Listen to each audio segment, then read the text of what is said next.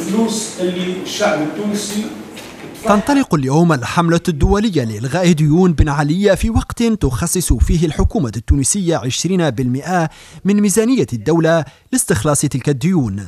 جمعيات وشخصيات دولية تحط رحالها في تونس لحث حكومة علي العريض على تجميد فوائد ديون النظام السابق. أن الحكومة تقتنع أن الطريق اللي ماشي فيه غلط واللي مصلحة البلاد تقتضي الآن تعليق تسديد الديون يزي. كما نقولوا بالدارجة يلزم يصبروا علينا يفهموا الشيء هذايا. من 14 جانفي لليوم أه توانسة الشعب التونسي خلص 7326 مليار.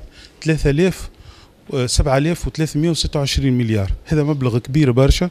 إحنا شعارنا الحملة الوطنية إحنا أولى بفلوسنا. وتقول لجنة إلغاء ديون العالم الثالث أن رفع الدعم عن المنتوجات الأساسية في تونس هي بمثابة إعلان الحرب وتهديدا واضحا للسلم الاجتماعي في البلاد. الحكومة أعدت ميزانية ميزانية مش تعلن فيها الحرب على الشعب التونسي وعلى المجتمع التونسي.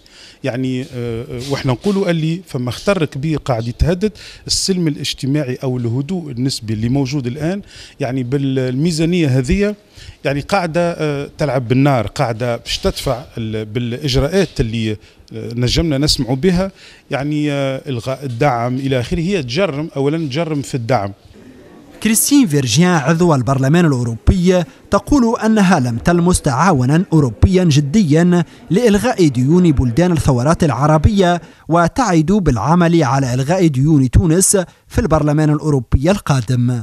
Nous allons avoir l'année prochaine une, euh, des élections européennes et je pense que ces questions euh, de la dette tant en Europe que, que dans la relation de, de l'Union européenne avec les autres pays doit être au cœur de, de la campagne.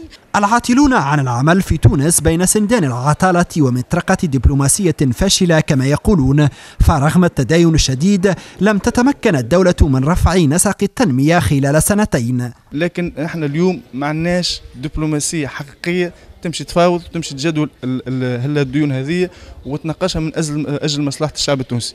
عندنا ناس تتلهى في ملفات أخرى غير ملفات الشعب التونسي. هدوء كبير في الشارع التونسي قبيل رفع الدعم عن المنتوجات الأساسية وتساؤلات أكبر حول انسداد أبواب الاقتراض. أما جحيم ديون بن علي فلا حل لها حسب الحاكمين سوى جيب الشعب.